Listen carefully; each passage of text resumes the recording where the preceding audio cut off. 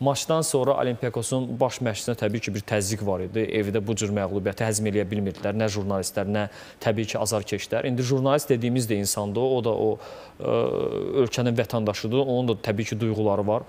Ola bilər media sektorda onu aşırı göstərməz, amma içində təbii ki, öz ölkəsinin komandasına azarkeşlik eləyir və bu əcnəbilərə xas olan bir xüsusiyyəti bir daha gördüm. Bunu biz dəfələrlə burada işləyən əcnəbilərdə də görmüşük və yeri gəlmişkən e, Olimpiakosun baş məşqçisi olan İspan mütəxəssisdə də gördüm. Sual verirlər ki, bəs komanda bu cür bərbad oynadı, bu cür acı məğlubiyyət, nə fikirləşirsiniz? O qədər rahat danışır, deyir, nə olub ki, nə baş verib ki? Heç nədir. 70-ci dəqiqəyə qədər hər şey plan üzrə gedirdi. Bir qol deyir, planlarımız biraz pozdu, uduzduq, nə olsun. Sən o qədər rahat danışır ki, sanki heç nə baş verməyib. Yəni bu da yəqin əcnəbilərə xas bir xüsusiyyətdir.